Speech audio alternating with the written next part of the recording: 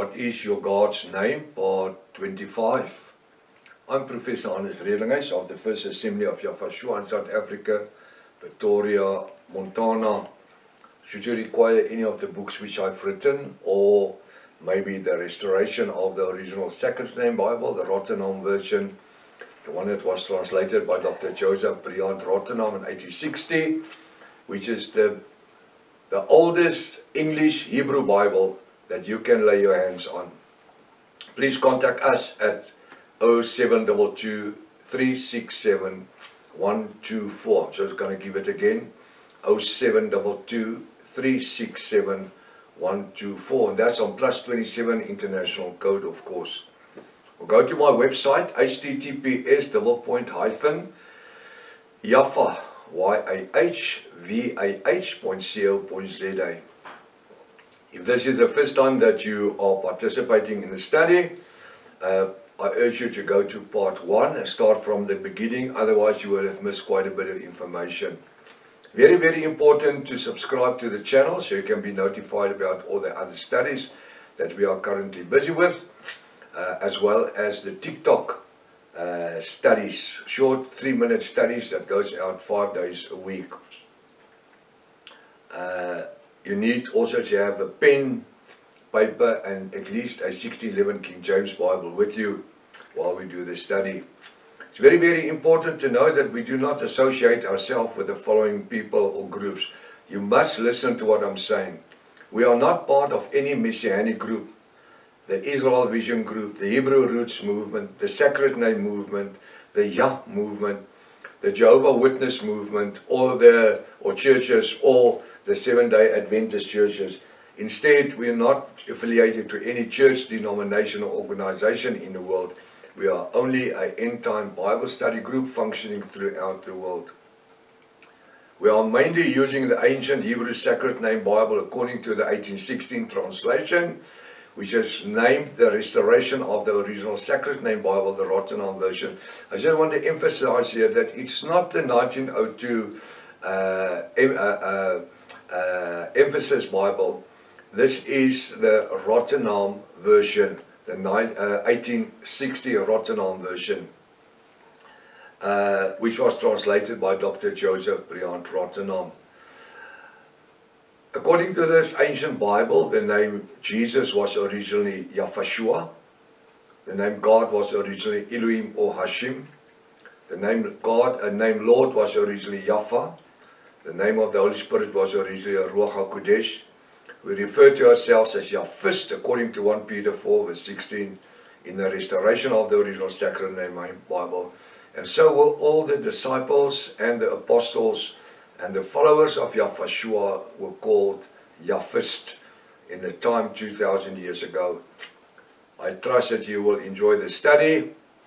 Be blessed in the wonderful name of Yahvashua. Hallelujah. We are going to continue where we left off last week and it's very important again to watch my hands. You know by this time when I does this, it means brackets. I'm adding something. Isaiah 52 6, we stopped with it last week. I'm just going to start with it. Isaiah 52 verse 6, Therefore, my people, which is Israel, shall know my name. Not N-A-M-E, but my name. Therefore, they shall know in that day that I am He that doth speak, Behold, it is I. His name is not I. What is his name? His name is, if I look at the, at the scriptures in, in uh, John 5, 43, where Yahshua says, I came in my, uh, in my name, in my father's name, and you know me not. I came in my, if somebody else comes in his name, I came in my Father's name, and you accept me not. According to the above scripture, even in the 21st century, the people shall know his name. His bride shall know his name. What name? The name Father, the name God, the name Almighty, or Almighty One, Jehovah, Yahweh. What would you say is his name? By this time, you must have heard it, you must have heard it a thousand times already. According to verse 6, the word declares, My people shall know my name. They shall know my name. But I thought it was a sin for the Hebrew people to call upon his name. I thought that the name was unspoken. It's the way that the theology through these years would change for people not to want to, the Hebrew people, to speak the name of Yahweh, our Elohim. Although he says, My people shall know my name. After reading the scripture, we must agree with me that most of the so-called Christians in the world today in 2024 do not know the name of the Most High, the Creator of heaven and earth. 99% of the people will tell it's God or Lord or Yahweh or Jehovah.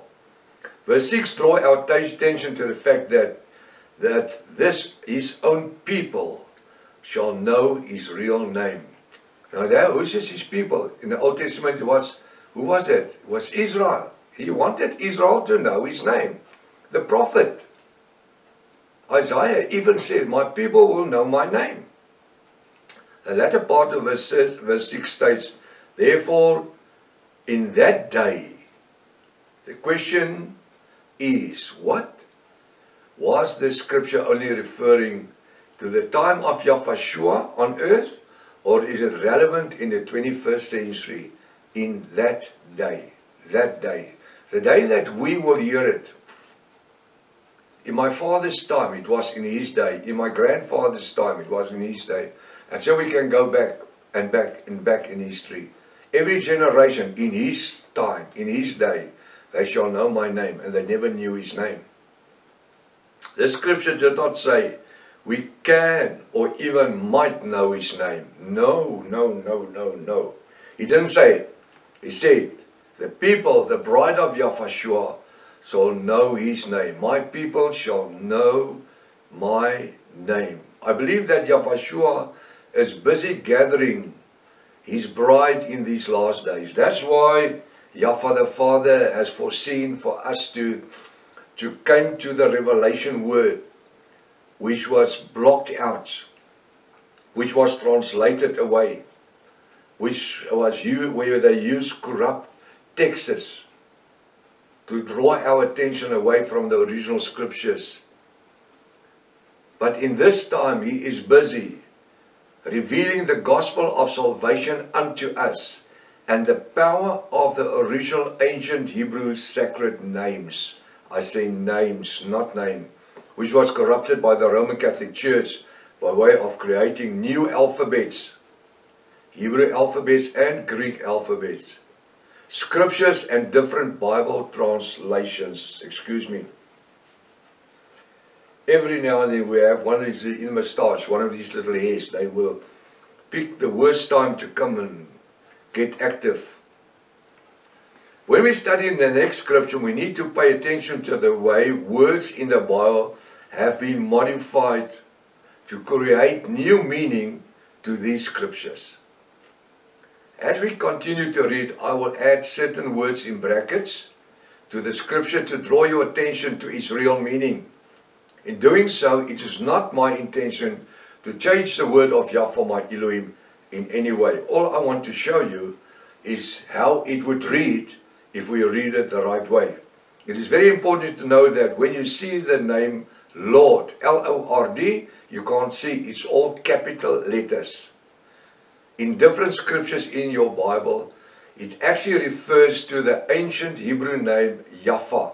Have you seen in the 1611 King James Bible, many times, you will just find the name Lord, L-O-R-D, capital letters, same, right through. Why?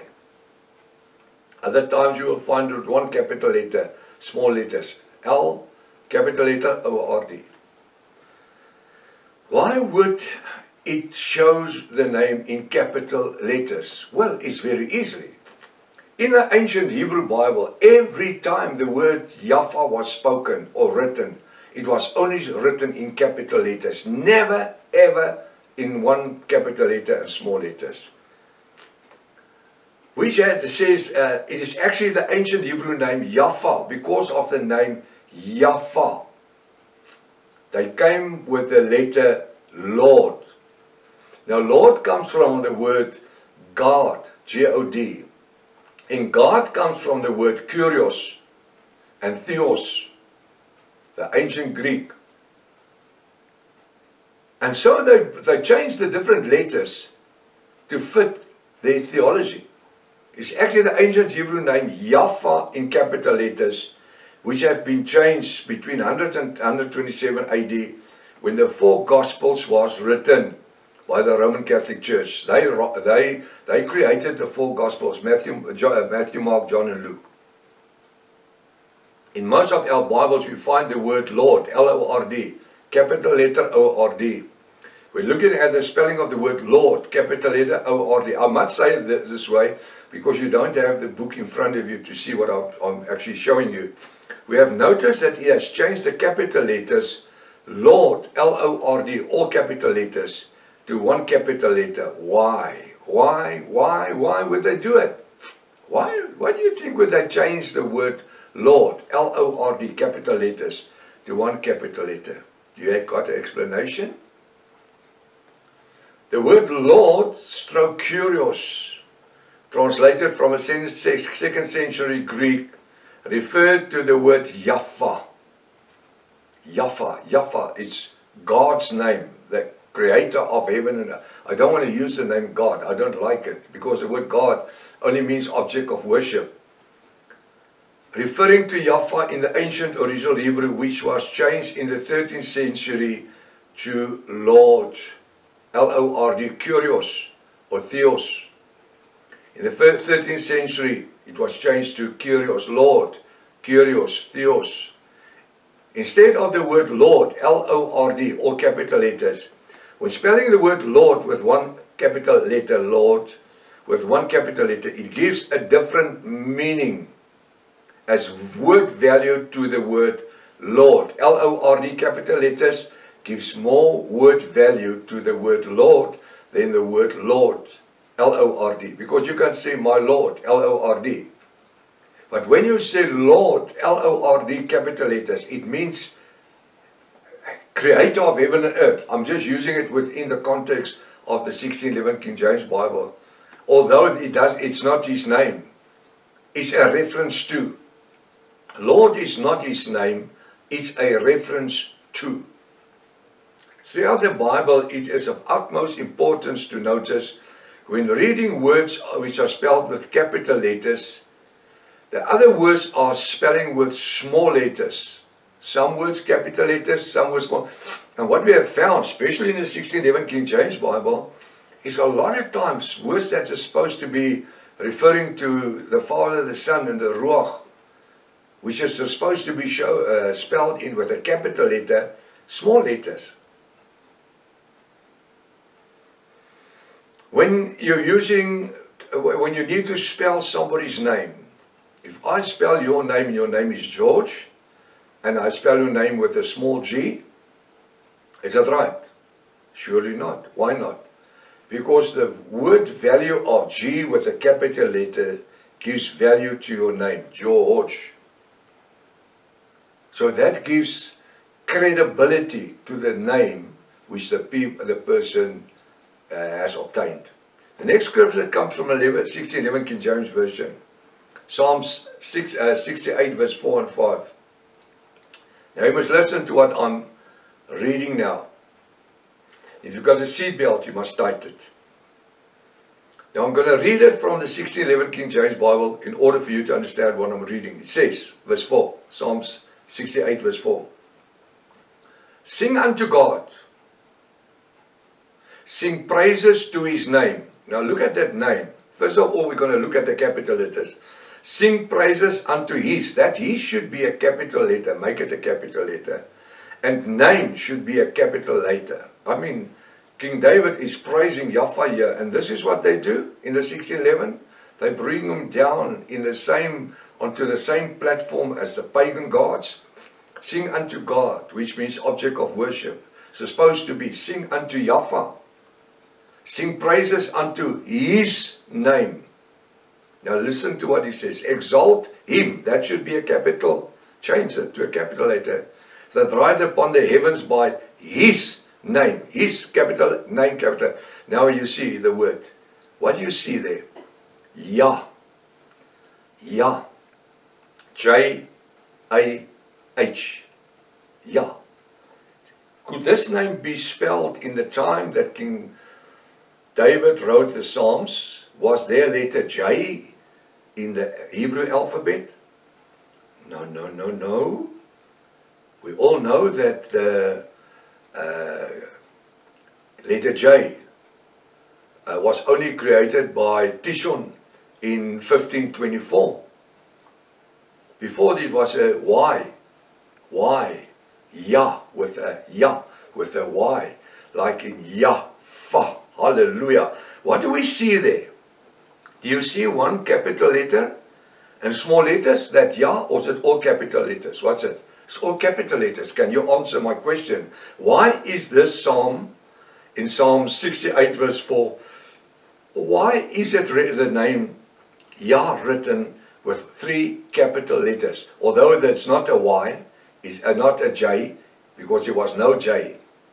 It's Yah with a Y. But this is the way the Bible was was was changed. By uh, now the in the 16th century, there was Gion Giorgio Transion in 1524 that created the letter J for the first time. So in the time of, of King David and the prophets, there was never a letter uh, J. When Saul was walking the road of Damascus and this voice from him spoke, he couldn't say, he says, Saul, Saul, what have I got to do with you, Jesus? Couldn't have said Jesus. If you read the scripture, he says there, I think it is in Acts 10, he says, and he spoke from, and a voice out of heaven came in a Hebrew language. He spoke from heaven in a Hebrew language. In Hebrew, there was never ever a J. Nowadays, with the modern Hebrew, because there's 258 Hebrew alphabets, they have the letter J. But in the ancient Hebrew alphabet, there was no letter J. So that's why you will see the name. I'm going to read verse 4 again. Sing unto Yahvah. Sing praises, praises with a capital P, to his name, his and name capital letters. Exalt him, capital letter, that rideth upon the heavens, by his capital letter, name capital letter, Y-A-H. You can change that J by, uh, to a Y in your Bible, because there was never a why in the time of before uh, 1524. Never ever. Right? You can even go on the internet. This reference I gave you is an internet reference. It's there for everybody to see. You don't need to trust me. So let's rectify that yeah. It couldn't be with a y, with a j. It's a, a, a, a, it's a y. So what do we read there? Sing unto Yahweh God is not God, Yahweh. Sing praises unto his name, exalt him that rideth upon the heavens by his name, Yah. So his name starts with Yah. So when you read the words, write the word hallelujah, you will read hallelujah, Yah on the end. Not with a J-A-H, it's Y-A-H. And always write the Yah in capital letters. Because hallelujah means praise unto Yahweh. That's what hallelujah means. It is not with a J. Make it a Y. Make it the right way. So what do we have here in Psalms uh, 68? We have the first portion of the name Yahweh. Am I right? Surely. There's a, many people ask me, where's the names? How can we get to the name in the 1611 King James Bible? Well, we're 50% there. I'm going to show you the other 50% just now. Verse 5. The father of the faithful, fear, uh, fatherless, and the judge of the widows, and Yahweh in his holy habitation. Now look at that spelling. God. God is not God. It's Yahweh. Because you've got the Yah already. Or if you want to use the word God, change it to Elohim. Elohim, because God means Elohim. When you see God, change it to Elohim if you like. But it's not God. God just means object of worship. Elohim in His holiness, His capital letter. Holy, capital letter. I've already explained that the name God, G-O-G, was created by the Roman Catholic Church in the 13th century. And the name God, G-O-D, means object of worship. Every time which, which is worship, he can be called God or God. Everything in the world can be called God or God. God, three letters, or God, one capital letter. Like I say, this camera in front of me can be God, God, but his name is supersonic. Or Telgo, whatever make it is. He's got a brand name. And so does Jaffa. His name is not God. His name is not Lord. You see what has happened with Bible translations between 100 and 127 AY after Yahshua? Have you noticed how the word God, G-O-D, capital letters, and God, one G, and God with no capital letters. There's three ways you spell God. G-O-D, capital letters, capital letter G-O-D, and God, G-O-D, small letters, which is a pagan God, has changed from capital letters to small letters. Why? Now, if I look at the word Yah in Psalms uh, 68, verse 4, I see the name Yah in capital letters. Why in capital letters? Because this how it was spelled in the Hebrew, in the restoration of the original Sacred Name Bible, the one that's banned in the world, which I have a couple, couple of copies left. 6,923 times the name Yahvah, all capital letters, bold letters. There's just about no page in the Old Testament where you can open and there's not three, four, five, six times where you will find the name Yahvah. 6,923 times. In the New Testament, 127 times Yahvah. Not Lord, not God, Yahvah. Yahvah. And that's why we have the name in Psalms 68, verse 4, the name Yah, which is the first part of Yafa. We have noticed how the word God, God or God, when I say God, God or God, you know the capital letters, have changed from capital letters to small letters. Why? That's why the way of the Roman Catholic Church would degrade the original ancient Hebrew names of Yafa to Lord, to Lord, to God, to God, to God, to God. They will say Lord, capital letters, Lord, one letter, God, capital letters, God, one capital letter, God, no capital letters. With the purpose to equal their own pagan gods of wood and clay and stone. To bring Yahvah into the same level of the pagan gods, little Mary and Mary and little Jesus, the statues, is not. Semiramis, the Queen of Heaven, and Nimrod, the sun god, which is actually, Tammuz, it's not even Nimrod she's holding, it's Tammuz, her own son, it's her own, she's the mother of her own grandson. After studying our scriptures in Psalms 68 verse 4 and 5, we have found the name God and Yah in the same verse. Did you see that? I says in Psalm 68 verse 4, we found the name God and Yah in the same verse. Now I'm going to read it again. It reads in verse 4, Sing unto God.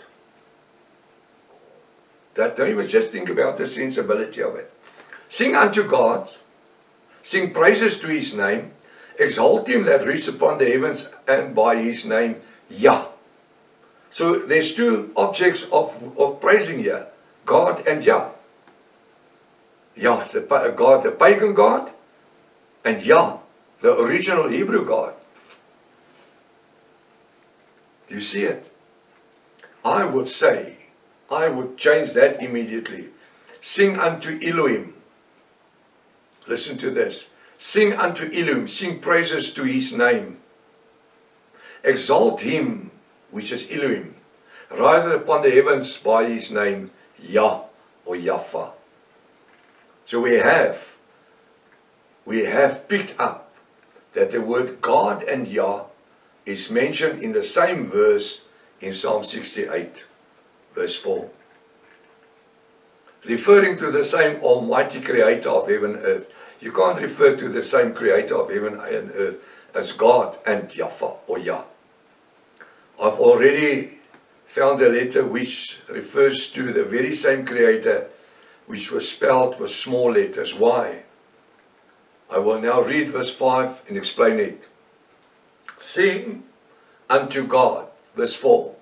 When referring to God, it can mean to any pagan god. Sing praises to his name. They are his name spelled with small letters. While referring to the creator of heaven, they should written capital letters, not small letters. Verse 4, exalt him that rideth upon heavens. Again the word him with small letters instead of him with capital letters, which I've explained already. When verse 1 says, ride upon the heavens, it refers to the creator heaven of earth and not any pagan god. By his name, Yah. Again the word his name, small letters. And it should have been capital letters. By his name, Yah. Why does the Bible refer to the name Yah? It's because the name Yah is the shorter version of Yahvah El Elohim. But the Roman Catholic Church could not acknowledge the name Yahvah. So they shot themselves in the foot by using the first three letters of the six letter name. The six letter name in Hebrew, Yod Aleph Hay Faf Aleph Hay. Yahvah, Y-A-H-V-A-H from the side. Ya, Fa, two segments. Ya, Fa, one name. I'm going to announce it for you. Just look at the spelling of the name Yah. It's all capital letters. Why? Because the name Yah, in the ancient Hebrew name Yahvah, uh, is quoted 6,823. I think I said 6,900. Sorry, mistake. 6,823 times. Anybody can make a small mistake. In the Old Testament, 127 times in the New Testament. Not bad for somebody that thinks about the thousand scriptures. Look at the spelling of the name Yah, J-A-H, as we saw it. We find that the spelling with the letters J is not the letter Y, as shown in the original Hebrew second ancient alphabet. The restoration of the original sacred name. Why? The letter J could not be used in the ancient Hebrew times because the letter J was only created in the 16th century by the Roman Catholic Church to rename the sun god Nimrod in Genesis 10 as we know him. Ra in the Egyptian times, Zeus in the Greek time, Isios in the Roman time. Then they created the letter J in the Greek alphabet to create the name Jesus in the 16th century. There's all your pagan gods' name. Jesus is a pagan god name, whether you like it or not. Show me wrong. Give me the information. One scripture where it says that the letter J existed in the ancient Hebrew. It can't. Like one of the professors said in, or of professor, doctor, that I had a discussion once, told me that the I and the, it was the I, but it sounds like a J. It was a J that it sounds like a I. I said, don't talk rubbish, man. Every letter has got different word value. There wasn't even a J. But to try and cover yourself, because they called him Isis, I-S-I-S, which is Nimrod, the sun god, Zeus. And then he became, Isis, Isis became Jesus. We will now study verse 5. A father of the fear, it says, a father of the fearless and a judge of the widow is God in his holy inhabitant. A father of the fearless. What spelled the word father is referring to the Almighty. Now look to, at the word father in verse 5. It's spelled with a small f. Which father is it? Pagan God father. It should be spelled with a capital F and not with a small letter as shown. The last sentence reads, Is God in his holy inhabitants? The word God should read Elohim. In his with capital letters. And holy inhabitants should always be spelled with capital letter H for holy and not small letters. all of the above means discrediting Yahweh our Elohim. That's all they did. That's all that they did through the whole 1611 King James Bible is discredited Yahweh our Elohim. Bring him down to the same God level as all your pagan gods, Buddha and uh, uh, Vishu and Satan. You can call him what you like. While my Bible says that Yahshua received a name above every other name in heaven and in on earth, and he inherited the Father's name. Now, if you read the scripture in, in John 14, where he says, I've inherited my Father's name. If I say my name is Hannes, and I've inherited my Father's name, then my Father's name can't be Nick or Peter. It should also be Hannes. Now, how do you link Jesus to Yahweh? Oh, it's Yahweh. No, no, no, Yahweh. In the ancient Hebrew, it was never letter W, it was a V. V, Waf, it says, Yot, Hay, Waf, Hay, the tetragrammaton. The Waf is a V, it is not a W. When the ancient Hebrew people sang the song Hallelujah, when they sing the song Hallelujah, it means praise unto Yahweh. Yah, Hallelujah, Y-A-H. I'm talking about the ancient Hebrew people. They could never sing it with a J. Hallelujah. The shorter form for the name of Yahvah is known in Hebrew to be Yah. If you know the shorter, you can also call him El or Ilua. It's all titles. Ilu, Ilua, Ilua is all titles. But when I look at the name Yah, Y-H-H, it's the shorter version of the uttermost holiest name, Yahweh. I will never want to just call him Yah. Yeah, when I'm praising by singing Hallelujah, it's a shorter version. But I would say hallelujah. He prays unto Yahweh. Now, yeah, we will next week, if uh, His Father's will, we're going to look at the second part of the name Yahweh, which is in the 1611 King James Bible. Don't miss it. Till next time. Maranatha. Yahweh is coming back again. Hallelujah.